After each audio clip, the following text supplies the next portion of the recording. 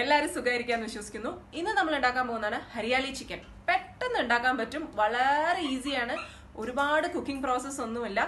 ഒരു extra colour green colour ഒന്നും നമ്മൾ ആഡ് ചെയ്യാതെ തന്നെ നല്ല സുന്ദരമായ ഗ്രീൻ കളറിലെ ചിക്കൻ നല്ല ഹെൽത്തി നല്ല ടേസ്റ്റി അപ്പോൾ തുടങ്ങാം. അപ്പോൾ ഞാനിവിടെ ഫ്രഷ് ചിക്കൻ എടുത്തിട്ടുണ്ട്. ഓൾമോസ്റ്റ് സിക്സ് ഹൺഡ്രഡ് ഗ്രാംസോളം ചിക്കൻ ഉണ്ട്. ഒരു അര കിലോയിലും കുറച്ച് മുകളിലോട്ട് ചിക്കൻ എടുത്തിട്ടുണ്ട്.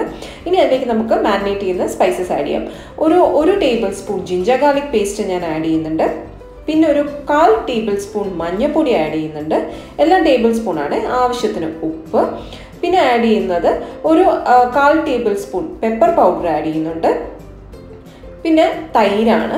ഒരു രണ്ടര ടേബിൾ സ്പൂൺ തൈര് കട്ട തൈര് യോഗേർട്ട് എന്ന് പറയുന്നത്. നല്ല പുളിക്കാത്ത തൈരാണ് കേട്ടോ. കട്ട തൈര് ആഡ് ചെയ്യുന്നുണ്ട്. ഒരുപാട് പുളിച്ചു പോരുത്. എന്നിട്ട് നല്ലപോലെ ഒന്ന് മിക്സ് ചെയ്ത് നമുക്ക് ഇനി ഒന്ന് മാരിനേറ്റ് ചെയ്ത് വെക്കണം. വളരെ എളുപ്പമാണ്. ഒരുപാട് പ്രോസസ്സ് ഒന്നുമില്ല. നമ്മൾ ലാസ്റ്റ് ടൈം ചെയ്ത പട്ടിയാല ചിക്കന്റെ കുറേ പ്രോസസ്സ് ഇത് വളരെ എളുപ്പം.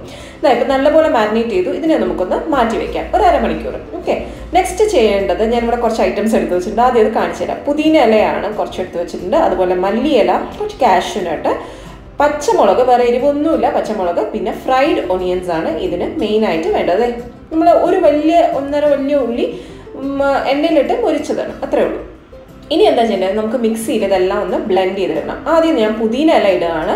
പുതിന ഇല ഒരു ഒന്നര പിടി ഞാൻ ഇടുന്നുണ്ട്. ഞാൻ എന്റെ കണക്ക് എങ്ങനെയാണ് നിങ്ങൾ നോക്കേണ്ടതെന്ന് വെച്ചാൽ എത്ര മല്ലിയില ഇടുന്നോ അതിന്റെ പകുതിയെ പുതിനയില ഇടാവുള്ളൂ. മല്ലിയില ഞാൻ ഒരു രണ്ടര പിടിയോളം ഞാൻ ഇടുന്നുണ്ട്. നല്ലപോലെ ഇടുന്നുണ്ട്. മല്ലിയില വേറെ ഒന്നും പൊടികൾ ഫ്ലേവേഴ്സ് നമ്മൾ എക്സ്ട്രാ ആഡ് ചെയ്യുന്നില്ല. ഗരം മസാല ഉണ്ട് കേട്ടോ.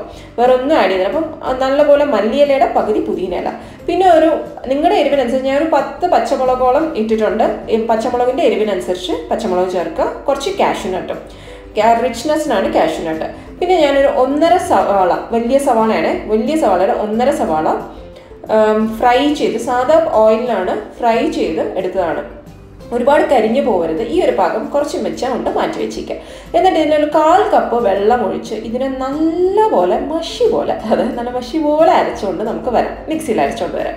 ഇപ്പം ഞാൻ നല്ലപോലെ അരച്ചു. ഞാൻ ഒനിയൻസ് ഒരുപാട് ബ്രൗൺ ആവരുതെന്ന് പറഞ്ഞതിന്റെ കാരണം ഇപ്പോൾ കാണിച്ചില്ല കണ്ടോ ഇതിപ്പോൾ നമ്മുടെ ആ ഒരു മിക്സ്ചർ നല്ല പച്ച കളർ കുറച്ച് ഡാർക്ക് പച്ചയിൽ കിട്ടും. ഒണിയൻസ് ഒരുപാട് കരിഞ്ഞു പോയി ഇതും കറുത്തു പോകും ഇനി നമുക്ക് നമ്മൾ നേരത്തെ മാരിനേറ്റ് ചെയ്ത ചിക്കനിലേക്ക് ഇതങ്ങ് ചേർക്കാം. ഓക്കെ ഞാനിപ്പോൾ ചിക്കൻ എടുത്തു. അതിലേക്ക് നമുക്ക് നമ്മുടെ ഈ മാരിനേഷൻ നമ്മുടെ ഈ മസാല നമ്മൾ അര അരച്ച് വെച്ചിരിക്കുന്ന മസാല ചേർത്ത് നല്ലപോലെ ഒന്ന് ഇളക്കി പിന്നെയും ഒരു അരമണിക്കൂർ നമ്മൾ ഇതിനെ ഒന്ന് മാരിനേറ്റ് ചെയ്യാൻ വെക്കണം. ടോട്ടലി വൺ അവർ നമ്മൾ മാരിനേറ്റ് ചെയ്യാൻ വെക്കണം മിനിമം ഓക്കെ ഫ്രിഡ്ജിൽ വെച്ചാൽ കുറച്ചുകൂടെ പെട്ടെന്ന് നമുക്ക് മാരിനേറ്റ് ചെയ്തങ്ങ് കിട്ടും. അപ്പോൾ നല്ലപോലെ ഒന്ന് മിക്സ് ചെയ്തു. ഇതിലേക്ക് ഞാനൊരു മുക്കാൽ tablespoon okay garam masala powder add ചെയ്യുന്നുണ്ട്. നല്ലപോലെ മിക്സ് ചെയ്യുക അത്രേ ഉള്ളൂ. ഇതാ കണ്ടില്ലേ? ഇനി ഇതിനെ ഒന്ന് അടച്ച് ഒരു അരമണിക്കൂർ നമുക്ക് റെസ്റ്റ് ചെയ്യാൻ വയ്ക്കാം. ആഫ്റ്റർ തേർട്ടി മിനിറ്റ്സ് ഓക്കെ നമ്മളൊരു പാൻ ചൂടാക്കി നേരത്തെ ഒണിയൻ ചൂട് മൂപ്പിച്ച എണ്ണ തന്നെയാണ്. ഇതാ കണ്ടില്ലേ? സെയിം ഓയിൽ തന്നെയാണ്. ഒരു three two four table spoon ഉണ്ടാവും. അതിലേക്ക് നല്ലപോലെ ചൂടായതിനു ശേഷം നമ്മുടെ മാരിനേറ്റ് ചെയ്ത chicken after one hour marinate ചെയ്ത ചിക്കൻ ഞാൻ എടുത്തു.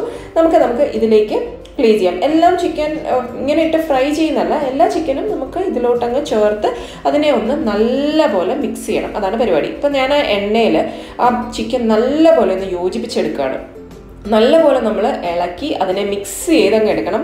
ഈ തെളിഞ്ഞു കിടക്കുന്ന എണ്ണയൊന്നും എന്താ ഇപ്പോൾ കാണത്തില്ല. ഇനി ഇതിലേക്ക് ഒരു അര ടീസ്പൂൺ ജീരകം പൊടിച്ചത് ഞാൻ ചേർക്കുന്നുണ്ട്. ജീരകം പൊടിച്ച് എന്തിനാന്ന് ചോദിക്കും? നോർത്ത് ഇന്ത്യൻ ഡിഷസിനൊക്കെ മസ്റ്റാണ് ജീരകം.